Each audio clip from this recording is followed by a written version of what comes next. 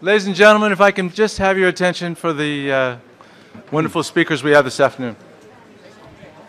And I'll introduce Dr. Peter Holmgren from CIFOR. Yeah, thank you. Uh, so welcome back, everyone. We have one uh, last session today, which is a keynote session. The keynotes will be very short, very to the point.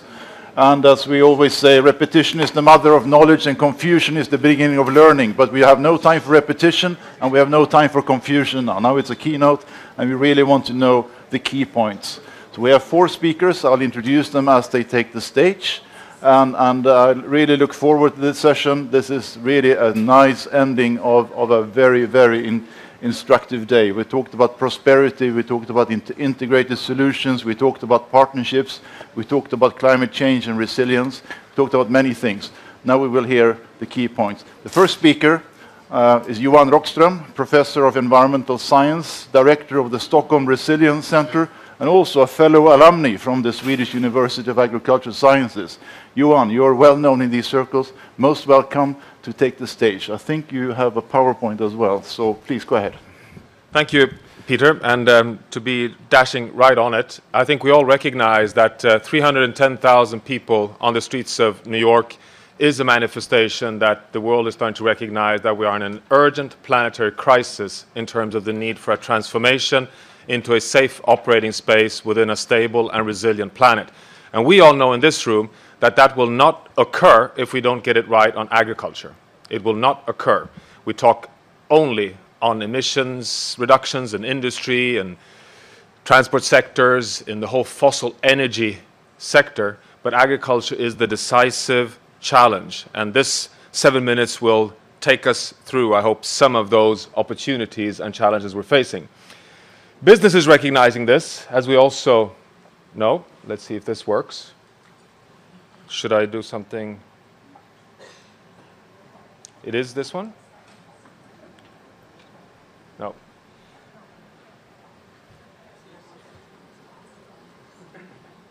Sorry about that. Business is recognizing this, as you've seen from the Global Risk Report, which I find fascinating, where 2,000 CEOs are interviewed about their priorities in terms of what is the challenge in an interdependent, inter in a totally interconnected world. And what we find is that issues related to water security, climate change, biodiversity, nutrients, agriculture are center stage to the worries among business leaders. In fact, there is a recognition, I would argue, that we've reached a new juncture. Up until recently, we could argue that our conventional economic model, our conventional way of building agricultural development worked quite fine as long as we lived on a relatively small world residing on a relatively large planet. We could dump large parts of our, of our environmental impacts on a very forgiving, resilient, and planetary system with a high buffering capacity. Since uh, our 1989, roughly, we have the empirical evidence that that has changed. We're now hitting the ceiling of the ecological capacity of planet Earth to support humanity. We are a relatively large world on a small planet. We've saturated the atmospheric space. We've saturated the nitrogen phosphorus budgets. We're recognizing that we can no longer exclude tipping points in the large scale systems. This is based on empirical evidence of the great acceleration, which you've all seen, which is just a reminder that this is not only carbon dioxide, which has exponentially increased since the 1950s. It's basically any parameter that matters for human well being, from biodiversity loss to ocean acidification. These curves synchronize in the following way. 10 years after the Second World War, that's when we expand into the Great Acceleration, and we're now at the top of these empirical curves. We're truly in a new state in terms of transformative change. This applies for the same way with regards to food related unhealth issues from obesity, stuntness, non communicable diseases, diabetes, looking the same way. So we have really an enormous complex related to food. And why can we accuse the agricultural system to be the culprit number one? Well, it is because of the facts behind these exponential curves that we all know in terms of number one cause for loss of biodiversity, number one consumer of fresh water, single largest emitter of greenhouse gases. These are the facts that make agriculture so decisive. The interesting thing is that there's nothing in terms of evidence suggesting that agriculture could not transform from being the big challenge to being the large solution. But we have to load the dice with the empirical and increasing evidence that climate change is changing the picture very quickly. This is just the AR5 map showing in red the regions that will face, on average, 25% or more loss of precipitation under a two degree future. So we need suddenly also to build in very, very deep elements of resilience in the systems to cope with an increasingly turbulent future.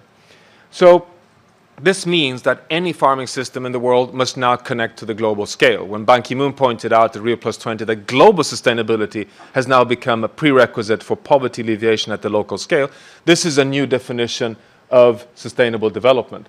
It's also the recognition that sustainability must therefore be the very entry point for agricultural development. It can no longer be agricultural productivity, efficiency optimization, and reduce impacts at the end of the pipeline.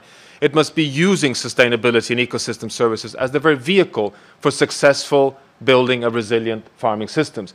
And a lot of empirical research shows that this actually can be done and the evidence behind its value. And that, in fact, resilient and ecosystem services forming the basis for agricultural development and ecosystem services is increasingly understood also as being key to achieve many of the sustainable development goals. Now, one reason why this is so decisive for our long-term future is that planetary stability depends to a large extent on the regulatory functions in the Earth system. This is, in my mind, the most dramatic evidence of that, that 55% of our emissions of carbon dioxide are taken up by the biosphere.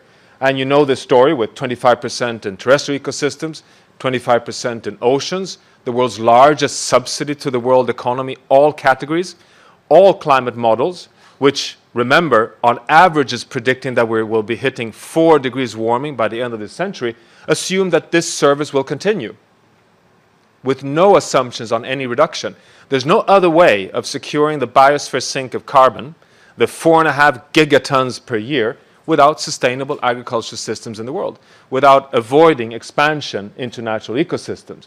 We increasingly learn, moreover, that critical biomes are part of regulating this stability, that the Southeast Asian monsoon and the West African monsoon depends on a stable rainforest systems in the Amazonas, that the Arctic is a stabilizer of even weather systems hitting in on the east coast of the US, as shown by Superstorm Sandy, that in fact savannas, boreal forests, terrestrial forests, are all part of regulating the stability of rainfall and therefore agricultural systems across the world.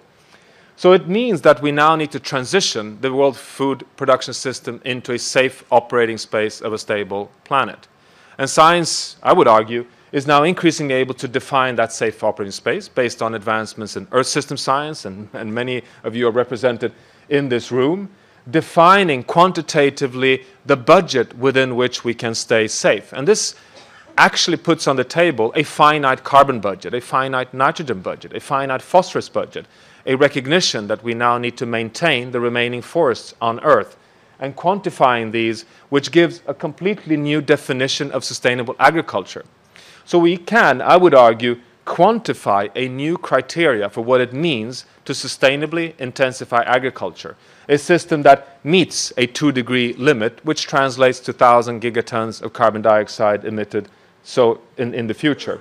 In terms of land use change, freshwater use, in terms of the 44 or so million tons of nitrogen that we can maximum release from the atmosphere to avoid tipping points through eutrophication in freshwater systems, and so on. And that's very interesting because, for one, we've never done it before. And secondly, I would challenge ourselves to say, I don't think there's any farming system in the world that fulfills this list. Not even the organic agricultural systems in the world do it because they depend on fossil energy sources. So this is an enormous challenge for us as, as the agricultural community to uh, not only deliver resilient food systems for a world population of 9, 10, 11 billion, but also do it in a way that maintains the stability of the Earth system. Now, as been discussed today, a lot of science shows that this can be done there is actually evidence to suggest we can feed 9 billion people. This paper that John Foley led from um, Minnesota showed that this is possible, but didn't address the sustainability dimensions in full.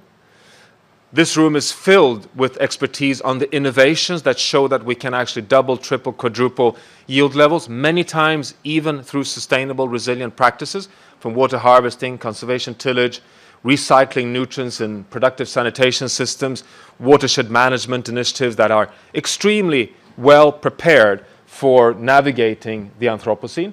Now is the time to go to scale, and how can we induce partnerships to do that? And finally, I would argue that the policy domain, believe it or not, despite the inability in the political system to take global leadership, is starting to understand this new predicament. When the Sustainable Development Goals framework document from the Open Working Group is put on the table, it does in fact stipulate through its 17 goals that eradicating hunger and poverty is possible, but it needs to be done within a safe climate system, a safe biodiversity system, a safe water system, and a safe marine and ocean system. So we're starting to see the contours of a development paradigm of an economy that operates to serve society, which in turn operates within a stable and resilient Earth system. And right at the center of this is agriculture. And agriculture, therefore, plays this decisive pivotal role over the next decade. And I can see no better community than this one to kind of take on that charge. Thank you.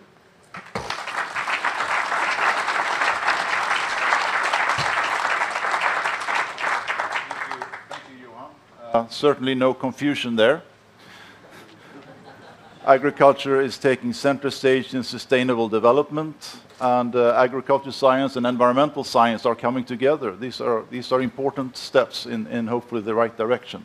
So thanks again for your leadership in this, Johan, and, and we look forward to the next scientific findings from, from your end.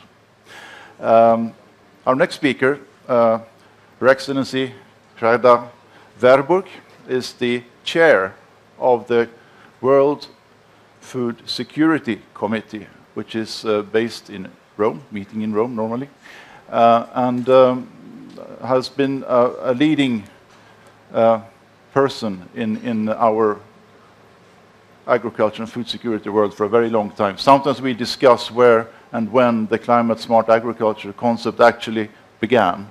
Uh, but we, I'm sure we all appreciate the leadership that uh, the Netherlands has shown in this, particularly when uh, Gerda was the Minister of Agriculture some time ago in the Netherlands. So, Gerda, please, the floor is yours. Thank you very much, Peter. Yes, it's important to have the Climate Smart uh, Agriculture Alliance, and it doesn't matter anymore who uh, was exactly the founding uh, father. But I think in our disputes we have uh, we have done a lot uh, to make it uh, move into the right direction.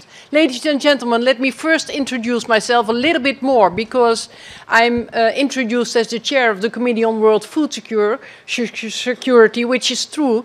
Um, but the committee is not a committee with only representatives of governments. It is the committee where all the stakeholders that are connected to uh, agriculture, food security, nutrition, and all related topics are gathered around the table. Now, let me tell you, this is challenging because we have representatives of governments, my colleagues, the uh, ambassadors and perm reps. We have uh, people from your society. CGIAR is representing uh, the research and know-how institutions on uh, agriculture and, uh, and food uh, topics. Um, we have uh, people from civil society, from grassroots organizations, social movements, to the uh, big international NGOs like Oxfam, and we have private sector on board, and beside this also uh, foundations and financial institutions. To agree upon um, um, uh, important topics takes time. It's very time consuming because you have to um, to uh, discuss, but it it, already, it it is very fast that you start to negotiate, and it's so it's possible to negotiate on one topic uh, for two years. For instance, principles on responsible investments in agriculture, sustainable agriculture, and food systems. But it's worthwhile worthwhile because once you agree at global level, um, it is already communicated to grassroots uh, uh, level so that at grassroots level you can really make it happen. And that's where it's all about. Thank you very much, Frank Rijsberman and your uh, team for organizing this important day, for this opportunity to discuss the role of research to achieve the goals of food security and sustainable development. As chair of CFS, I, like, like, I would first like to emphasize how food security is profoundly linked and I would say embedded in sustainable development. And as you know, CFS has geared towards action and research is key to it. In CFS, we work on a lot of topics which have an, um, an, an uh, incidence on food security and nutrition, price volatility, land tenure, climate change, social protection, biofuels, food losses and food waste, innovation and investments, etc. And these are the same issues that will shape sustainable development. Our high level panel of experts on food security and nutrition has acknowledged the very concrete link between food security and nutrition and sustainable food systems. There can be no food and nutrition security, short and long term, um, without um, sustainable food systems. Ensuring food security and nutrition for all worldwide, of present and, and, future generation, characterizes sustainable food systems.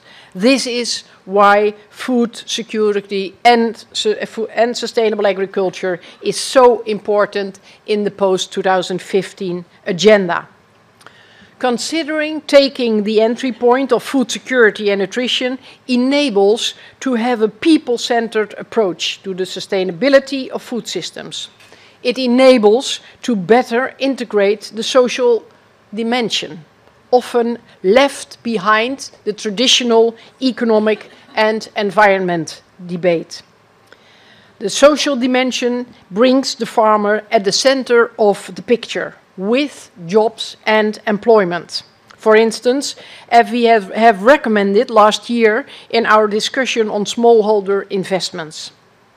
How can research and innovation reduce the drudgery of agricultural labor, particularly for women, is an issue that is too often overlook, overlooked. And please put gender in the very heart of all your research and advisory work because it's necessary.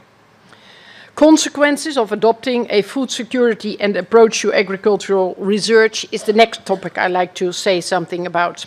Having this entry point of food security, the key question for the development of agriculture is how it can contribute to ensure food and nutrition security. Of course, one key dimension of it will be ensuring the long-term productivity of agriculture, which is one core mission of the CGIAR. But, as shown by the discussions today, there are also other dimensions. We think, in CFS, that research is part of action for food security and nutrition, and we often address it in our recommendations.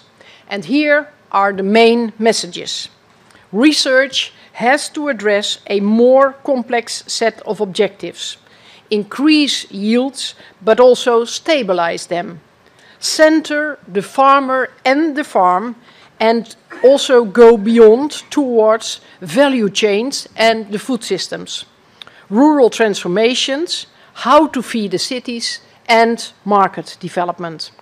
Let me give you two examples Innovation in the field often means changes in the value chains from inputs to outputs, etc.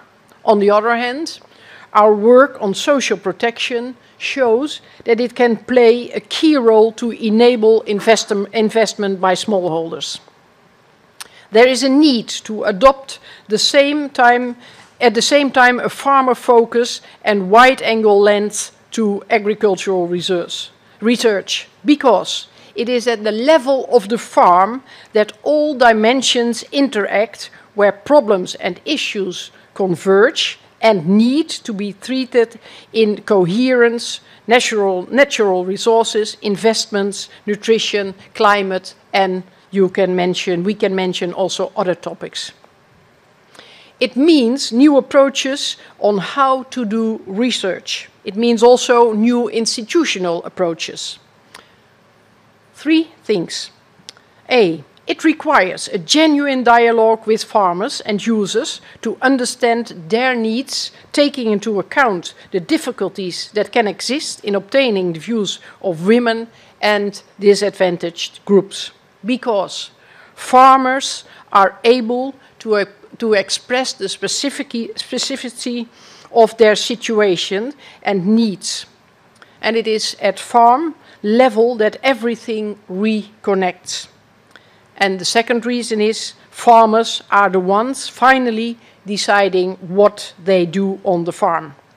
These are conditions to make research translate into real systematic, uh, systemic, systemic, systemic uh, changes on the ground. It requires a good two-way inter, two ways interface between researchers and farmers, extension services, and the use of modern technologies. B. It requires also mechanisms at national level to agree inclusively on priorities for research given the various contexts. The CGIAR has an important role here with national research institutions. C. At international level, research and research institutions have an important role to play as doers for food security and nutrition. The CGIAR is a key stakeholder of the CFS. It is also as member it is also as member of the advisory group of CFS, representing all research beyond CGIAR. And I expect that the CGIAR will bring the results of this day to the attention of the Committee on World Food Security. Ladies and gentlemen, farming is knowledge intensive. More than ever, we need research to achieve the goals of food security and sustainable development. We need policies and institutions for it. We need more investments in research, more public private partnerships, more synergies between national and international research. And to do this, we need a joint vision and we need to invest in trust into what we will do together. Thank you very much. Thank you. Thank you so much, Gerda, and also thank you particularly for reminding us that the real-world decisions are made by the farmers and not in the General Assembly. Um, and also that perhaps this is a challenge for us in CGIAR, that we really need to have this reach from the political level all the way down to the ground, and this is something we need to bear in mind constantly. Um, so ne our next speaker, uh, I would say barely needs an introduction, but I'll do it anyway. Dr. Rajendra Pachauri, most welcome to this closing, uh, closing keynote session of, of our de development dialogue today. Uh, we all know you as the head of the Energy and Resources Institute, TERI, but we of course know you as the chair of the Intergovernmental Panel of Cl Climate Change since 2002. And in particular, I would like to point out that the, the latest assessment report, number five, I found really, really emphasizing the agriculture issues, the agricultural role in, in the challenges we are facing in climate change, both in terms of adaptation and in, in mitigation. So please, Dr. Pachauri, the floor is yours.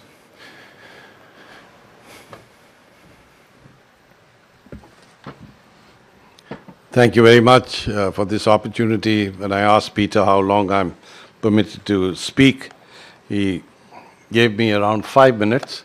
I may spill over by a minute or two, but this week I've acquired a new skill. I had to speak in the opening session of the UN Secretary General's Summit, and we started with uh, a target of six minutes, and then it was negotiated down to three minutes.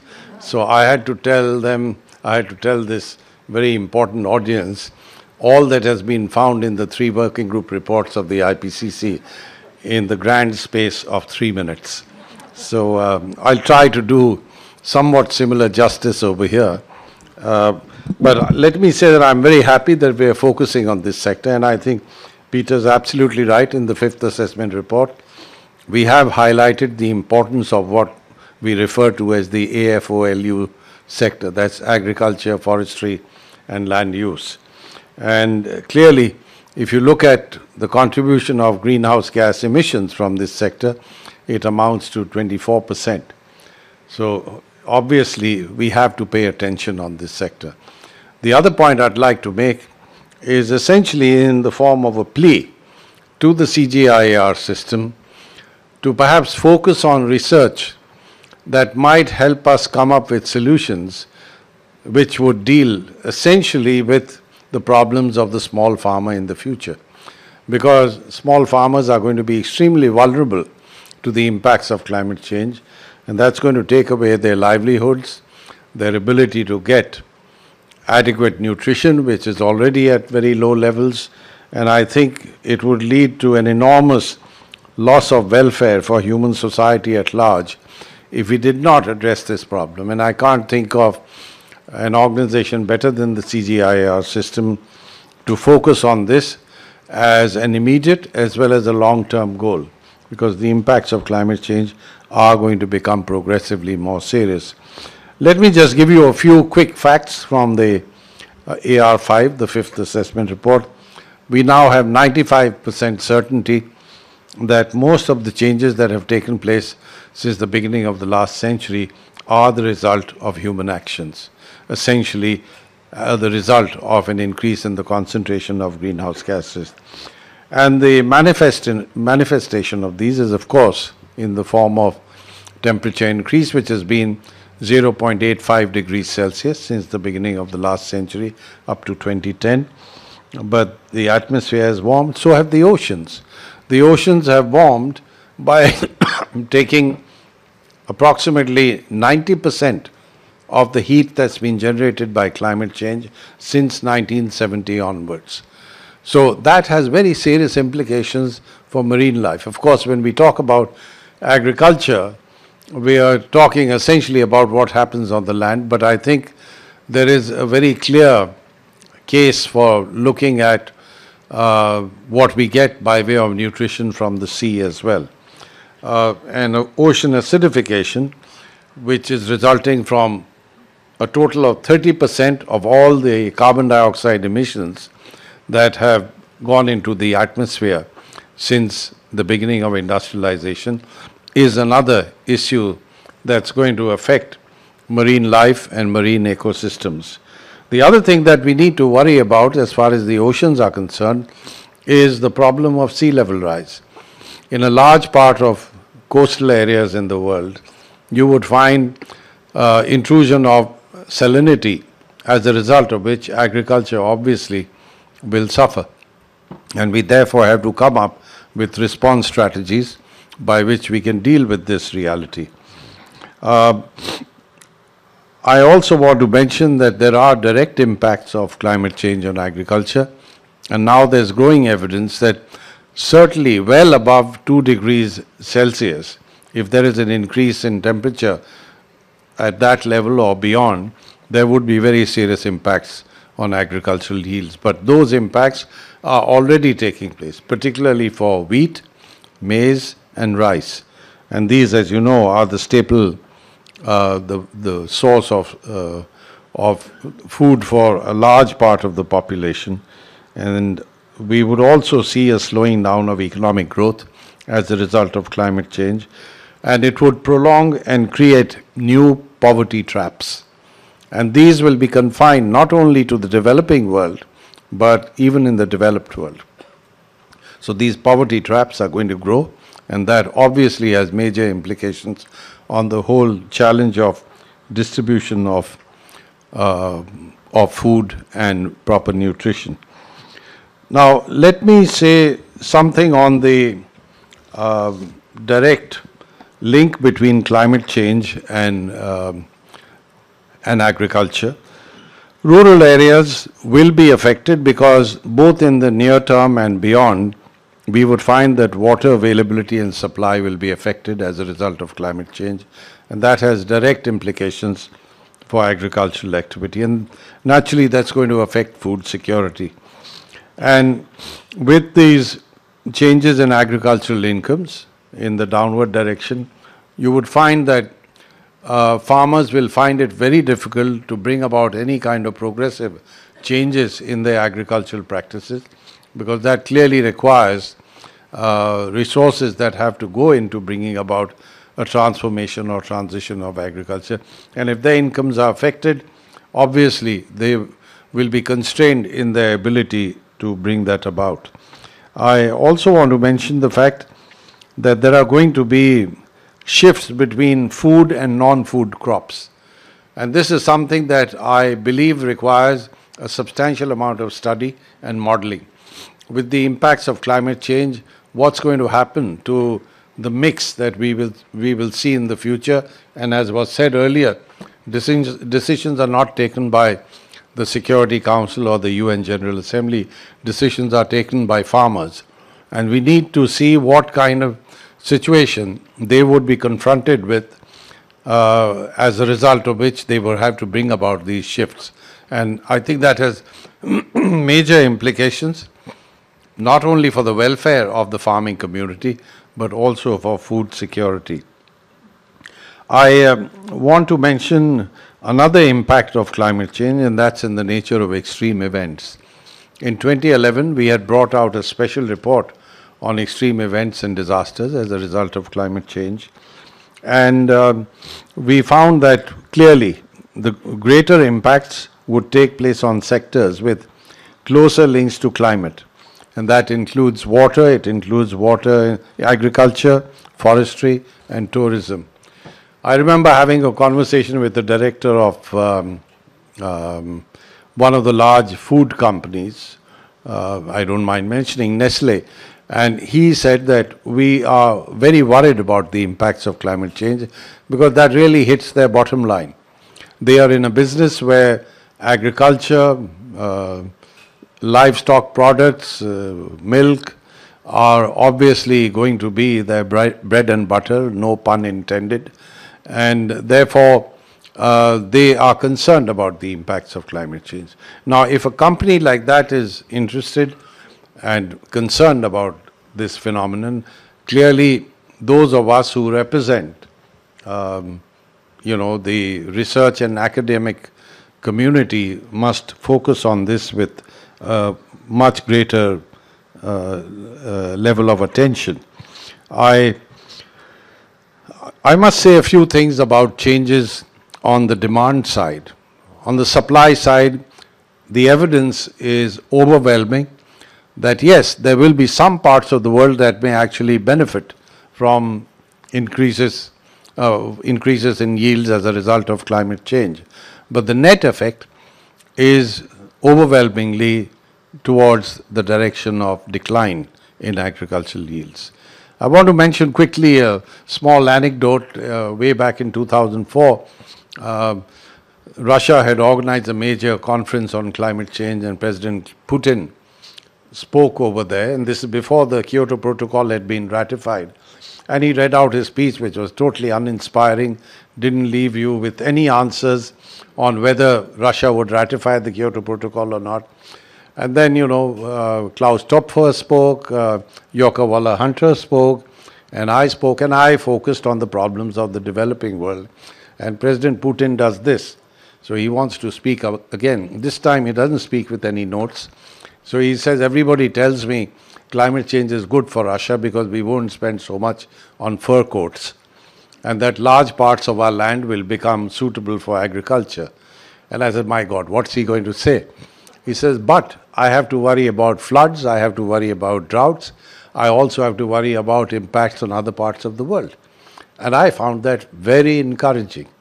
So the point I'd like to make is that even though you may feel that Russia is going to benefit from climate change, obviously the net effect of that may be negative even to Russian society.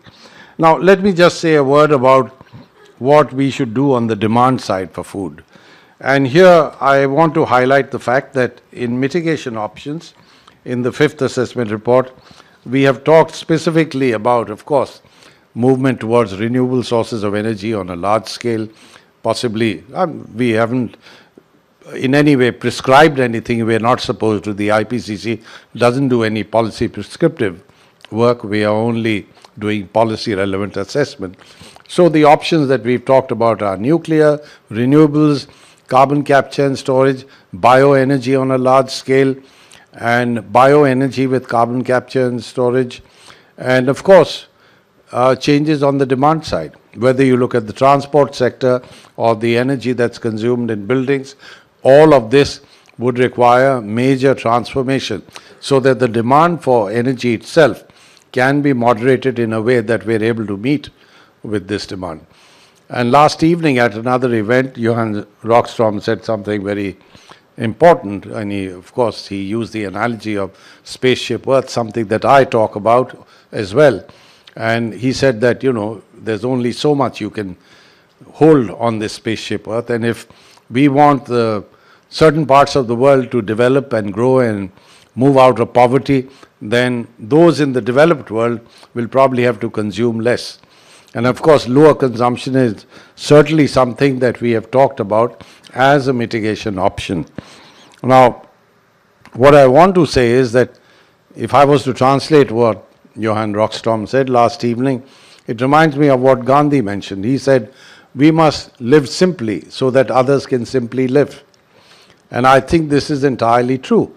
Uh, we have an enormous amount of waste in the food cycle, and waste not only in terms of the physical quantity of what is wasted, I will say waste even in the manner in which we produce protein for our intake. And here I'm not advocating anything because, as I've said on earlier occasions, I some years ago I used to talk about uh, an option of eating less meat.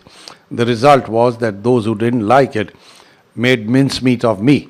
So I don't want to repeat that experience. It wasn't a pleasant experience. However, let me say that dietary choices do have a major impact on how agriculture should shape up in the future.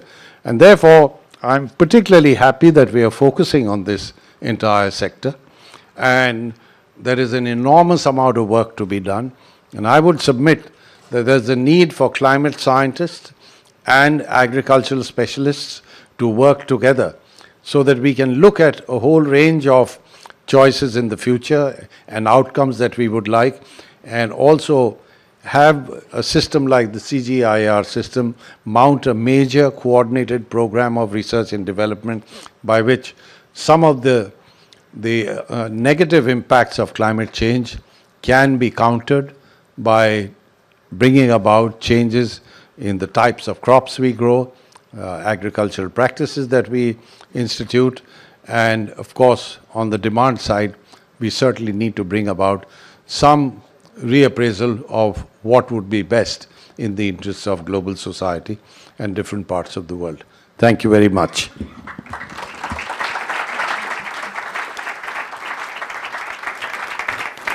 Thank you, Dr. Pachauri, for bringing us to a bigger picture once again. Um, bringing up the demand side of the equation is certainly not easy, uh, even whether we get minced or not. Um, but uh, it is clearly a big part of, of the equation. And we might even continue on the big picture and bring in the health aspects as well in this. And then we are covering several of the sustainable development goals in, in, our, in our discourse. So thank you again. Thank you for your leadership. Then our final and uh, final speaker in this session is a CGIAR colleague. Jonathan Wadsworth is the head of the uh, fund office and also the, uh, uh, has the interesting role of, of herding our members of the Fund Council as the secretary of, of the Fund Council. So Jonathan, tell us what you make of all this. Thank you, Peter. Well, this is a really unique experience for me. Uh, let me disclose that to start with. I've never had the privilege of following three speakers of such high quality and eminence and absolute, in my view, my humble opinion, utter sensible words that all three have contributed to this conversation. I'm really thankful, but I'm in somewhat of a trepidation in that I'll be compared, my feeble words will be compared with what's gone before. But I'm really grateful for what, what's been said by the previous speakers because I think it fits in quite closely to what I would like to say. This week, or today rather, has been the culmination of quite an interesting week for many of us here in the room, and I would hope for all of us in the room. It's been a week that has brought many different communities together, many different expertises, many different walks of life. One moment I was speaking to people from the insurance industry, the next moment I was speaking to people from NGO groups, and then again I was speaking to people from big agribusiness companies in different events around this city. And bringing all that together and thinking through the various discussions that I've witnessed today has been a salutary experience for me. Unfortunately, I can't go into that because otherwise I would need to speak for a very long time. So I'll try and stick to what I wanted to say. But there's a, we've got a lot of food for thought, or certainly I have, from what's happened this week. The CGIAR, having played a role in the Alliance for Climate Smart Agriculture, made a very important commitment to support that alliance and to support that work and to reach 500 million farmers, small farmers, with climate smart agriculture solutions over the coming years. The CGIAR fund uh, which I represent, made a commitment to continue on our fundraising work with the, the CGIAR community and the donor community and other partners in future to try and redouble and work tirelessly to redouble our funding of the CGIAR. We've had tremendous growth over the last five years, doubling to a billion dollars a year in total, and we set the target to double again to 2020 to $2 billion. Why do I, why do I say that? Because it's been brought up, I think, in all the people who have spoken previously in these three sections, in these three expositions. There were things which were I couldn't agree more with. Research is key. Research is fundamental. Research and innovation and science are absolutely a cornerstone of where we need to take things. We need to do more.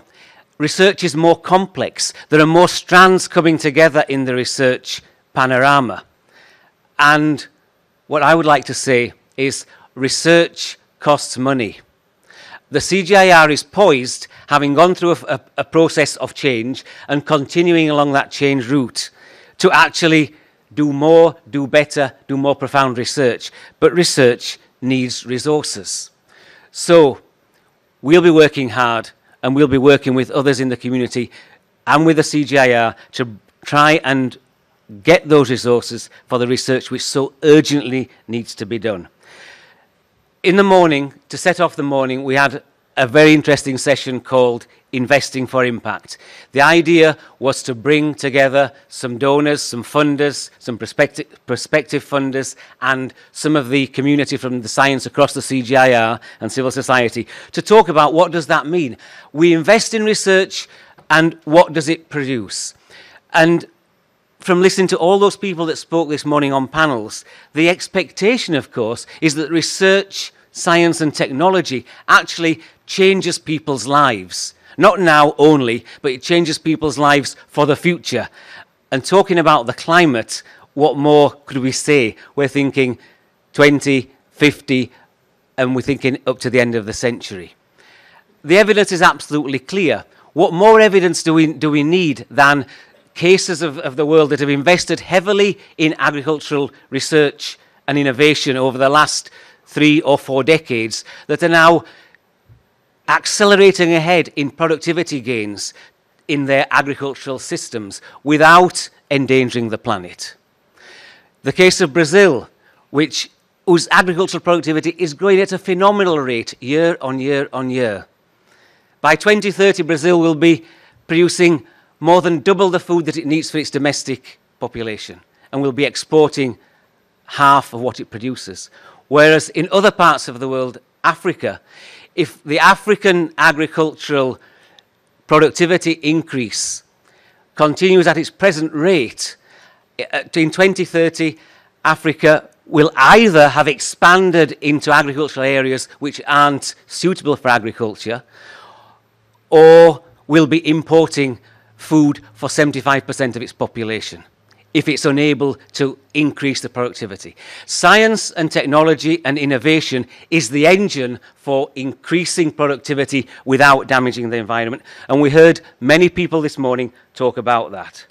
We talked about the need to unleash the capability and the accessibility of small farmers, especially women small farmers, to a, a, level playing field of access to resources. Because we know from the scientific literature, from the work that's been done, that if women had an equal access to the means of production, they would be, we, would produce, we could produce something like 20 or 30% more. Simple fact, which has been shown very clearly.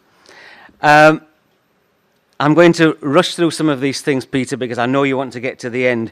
But some of our panelists this morning talked about the tension between public goods, in other words, the CGIAR works on international public goods, non-rival, non-excludable research for everybody, and attention somewhat with the private nature of agriculture.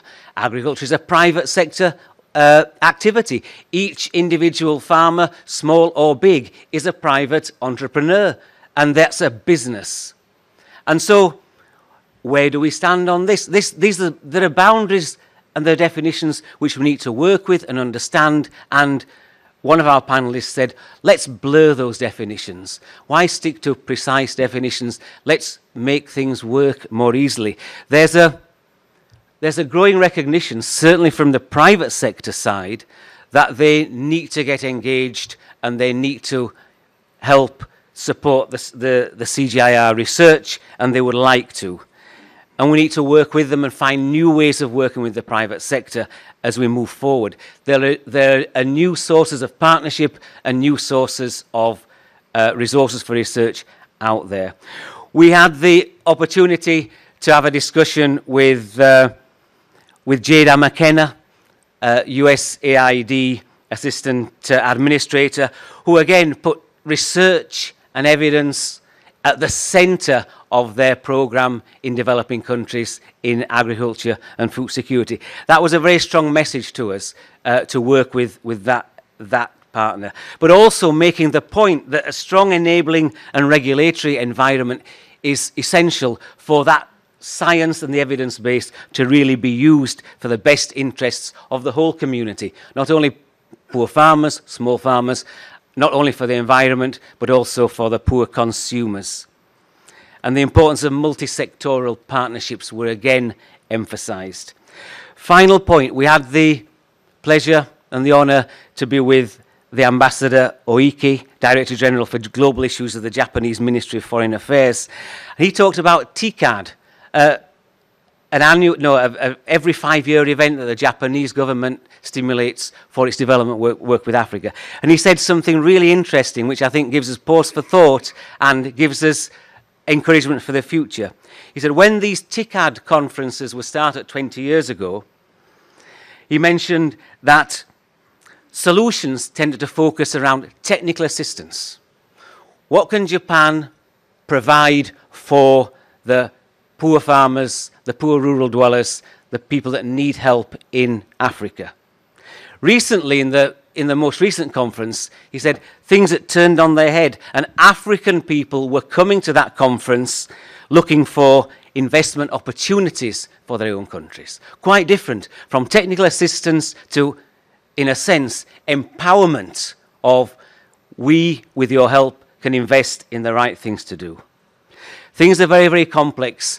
Listening to the previous three expositions makes me think that our definition of agricultural efficiency and productivity can be taken as very narrow. It's not only about thinking of outputs in terms of food, kilos of food, that's important, but it's also outputs in terms of, to use a very general term, term environmental services of agriculture. And this is what I heard a few times this in the previous session downstairs. There are many environmental services that agriculture provides at the same time as providing food. I'll leave that there, people want to finish. But I was, those who heard me speak this morning may have thought I had a very narrow vision on what productivity is. I'm quite prepared to amplify that vision now and say there's more to what agriculture gives than simply food. And I think this conference has really brought that out, and to me at least, uh, it's been very illuminating. So, everything that's happened today fits into CGIAR's ongoing efforts to recreate its uh, and refresh and re-energize its strategy and results framework moving forward for ever more ambitious, exciting and meaningful programs of research with suggestions coming from the floor which have been very valuable. So I would thank you for your time and en- energy. Thank you for listening to me at the end of a, such a packed day and after having such eminent speakers. But thank you. I hope you share my passion to improve the lives of other people and that the, the CGIAR is always endeavouring to achieve. Thank you very much indeed.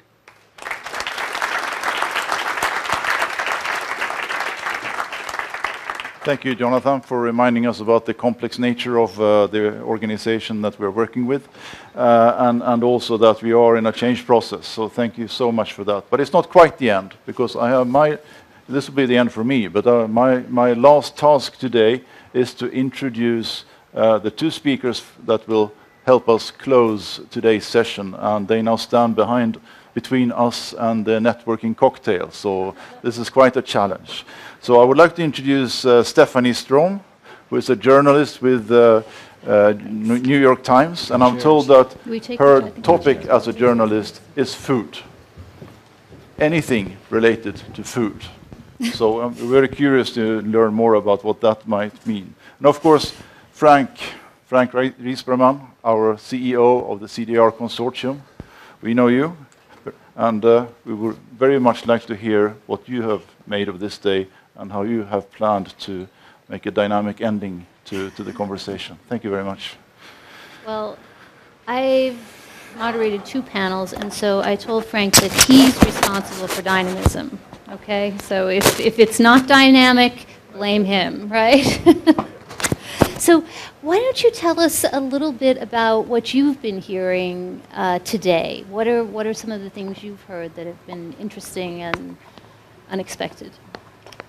Well, we came here to New York to listen, right, from to hear what the policymakers who are deeply involved in the SDGs and in the climate summit have to tell us. And I think they certainly delivered. We had many more messages than I can summarize this quickly.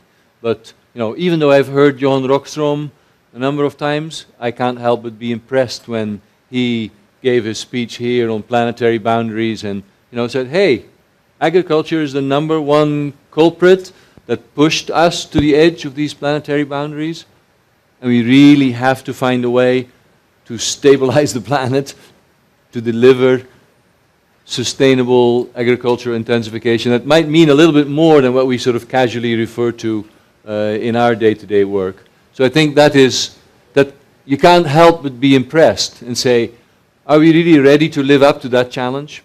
Are we really ready to deliver what it will take? And of course, this morning, you know, it started right off with Minister Adesina and uh, the Commissioner, Rhoda Peace, saying, you have to take it to the farmer. You know, that cuts right through our normal jargon where we mean the same thing. Yes, we have to take it to the farmer. And we have to think through what that means and what that means for partnership, because we will not take it to the farmer personally, but we will have to make sure that the innovations we come up with will go to the farmer. And yes, I think uh, probably many of us here were impressed by our own former colleague, Kanayo Nwanze, now president of IFAD, where he almost recounted his own personal story from, you know, working for rice and the new Rices for Africa, and now telling us about the importance of social science and indeed uh, speaking passionately about the wisdom that he wanted to pass on to us, uh, including the science of policies, uh, Schengen. I mean, we were all, I think, impressed to hear that and found that inspiring. So I think we heard a lot today that inspired us. So, how is CGIAR going to take everything you've heard and move forward with it? We will really. I mean, I, I know that I've gone to many of these meetings and people say, we will take this forward. And you're big black hole, you know, we will take it. No, we actually, we are in the middle of a very exciting time in the CGIAR. We are arguing, we are struggling, we are fighting over our next strategy. I mean, fighting the good fight. What is it really that should be the results that we will be held accountable for? And you know, this is not a few consultants in the back room. This is our donors getting in there and saying, this is what we think the results are that are important to us. It's our scientists getting in there and saying, can we really deliver that? It's messy, it's exciting, and it's exactly what should happen. So we are right in the middle of trying to come up with our new strategy and results framework, which people have described as the most critical document for the CGIAR for the next five or ten years. And then over the next year or two, we will be developing the next generation of CGIAR research programs. And we will do that in very close consultation with our partners in the field. I'm imagining that, you know, our 10 programs working in Bangladesh will come together and have consultations in Bangladesh that says, so what will we deliver against those results and how can we align that with the vision of the Bangladesh government, of the Bangladesh NGOs representing farmers, so that we can really come up with a program that we can bring back to our donors and say, this is good outcomes, we will come up with verifiable results, we will be value for money, but we also know that we will deliver stuff that farmers want and that governance prioritize. So that is where all this goes. Okay. And so what then is the purpose of research in agricultural development today? And how is it different from what it might have been in the past? I was really gratified to hear so many people say today and yesterday that agriculture, agro-food systems, and then for us, innovation in agro-food systems, and therefore research as the engine that drives innovation is the backbone of sustainable development. Or as Mark Cackler said it, agriculture is indispensable if we want to make development sustainable. So there's many forms of saying that, but I think Okay. that's it. Okay. So in, I, in the two sessions I was in, one of the critiques that I heard was that, well, CGI, IAR, I told you I was going to stumble over that. Um, The they, they, they come in and they treat the farmers or the people they're working with like they're subcontractors. And they expect them to go out and get a bunch of data and deliver it back and then create research out of it themselves. Yep, Does that happen? that's fair. you know, And so what, how are you, what are you going to do about it? This is probably one of the most interesting sort of conundrums or contradictions I know, because I go around to CG centers and people honestly pride themselves on the strength of their partnerships. and then, you know, with Juan Carlos Restrepo, we go to GFAR and we speak to the NGOs, and they criticize us for not being open enough. And those two realities are both true. And I would say I've gone to my colleagues and I've sometimes said, so how many partners do you have? Oh, we have 244 partnerships. I say, how many, what percentage of the budgets do those partners share? 10%? and then in some ways, then that, you know, then we've heard enough. We, we have to find a way where it's not the 244 partners that matter, it's a few key partners that matter that play with us on a level playing field, that have a fair share of the budget, that are part of our governance structure, that lead our work packages. And some of our centers, some of our programs have that exactly right, and in other areas we have to still live up to that promise to really open up the CGIAR. So I, I think we can do that. We are aware of this critique, and I think it is Well, you were telling fair. me about one where the money got, how, explain that a little bit to the audience. Well, we, ha- we, ha- you know, I'm Dutch. We worked in the European Union with these silly rules that the bureaucrats said. You know, every program has to have at least two partners from another part of the world, and you know, all these little rules that, as a researcher, I always experienced as a pain in the neck. you know, everybody was struggling at the last moment before they submitted a proposal to find a partner. But over time, those simple rules actually changed the name of the game. We have real partnership emerge from that. And we've been playing with similar rules. And in the challenge program of water and food, we said a handful of years ago, every program that gets approved has to have at least a third of the budget go to national partners. And at least one of the work packages has to be led by a national partner. Mm-hmm. Now that certainly pushed through change very quickly.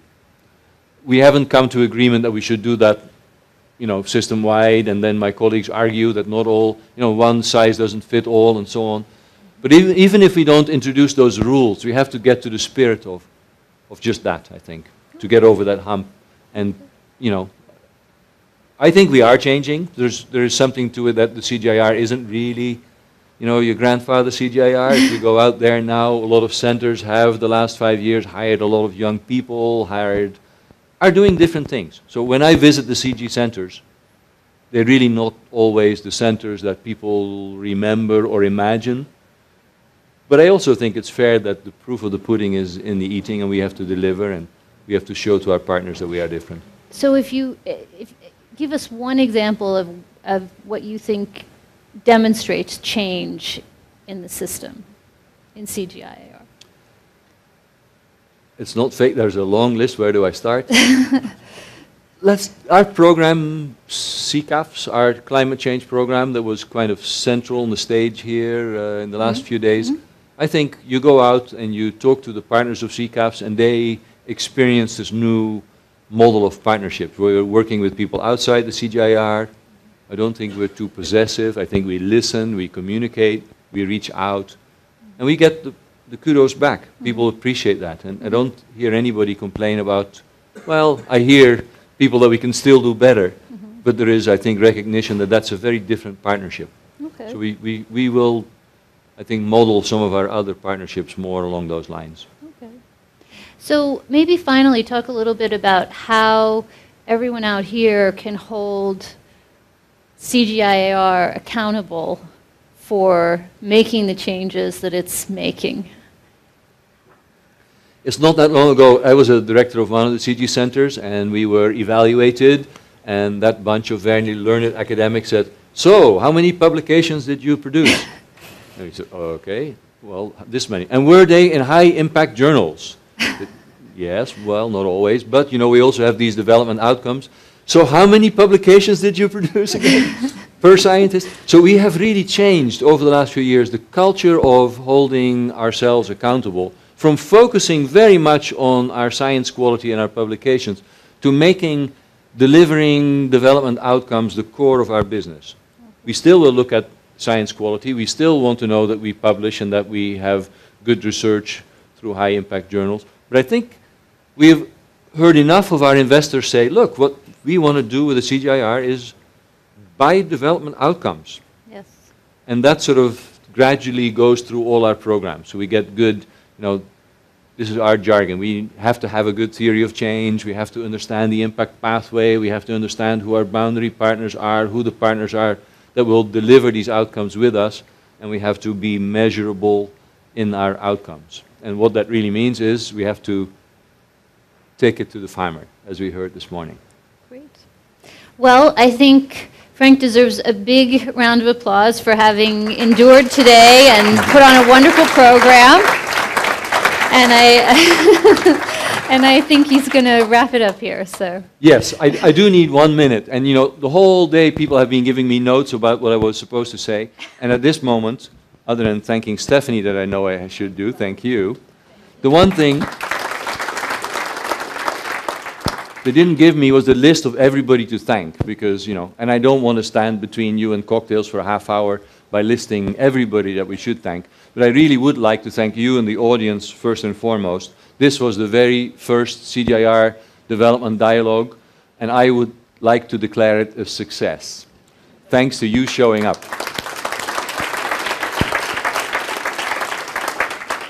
I think we should do this again.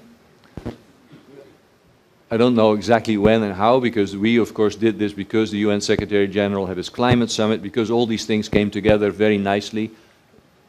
Can't quite promise you that we'll be here again a year from now in New York, but we should figure out how to make the development dialogues, I think, a continuing conversation, because I think today, definitely, we benefited.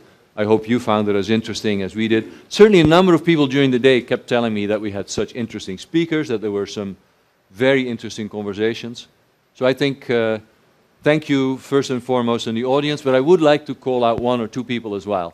And I think John Colmy, sitting right there, uh, I would credit him with being the first person that sort of talked to me at least what, in February 2013, I think, a year and a half ago, said, the CGIAR needs a signature event. We need to step up. We need to show that we really are relevant to the whole development agenda.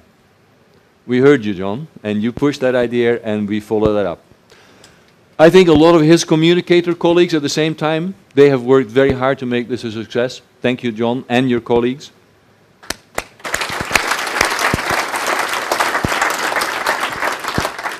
I would also say, in my role, I make lots of proposals all the time, and I get a lot of, sometimes, let's say, skeptical responses to all those proposals that we make. I don't think I've made any one proposal to the centers and CRP directors that was so quickly and positively received, including people pitching in and saying, okay, you need money, we need to do this. So all the centers and CRP directors who pitched in to make this happen, thank you for your immediate and rapid support. Thank you.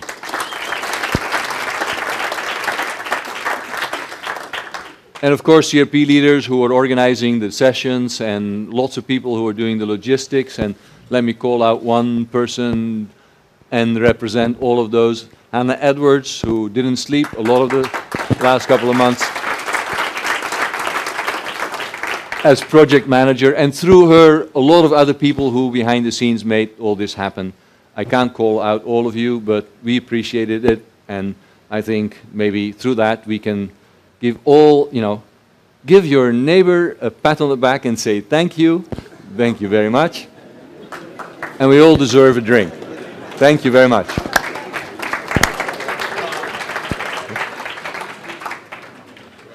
Drinks closed.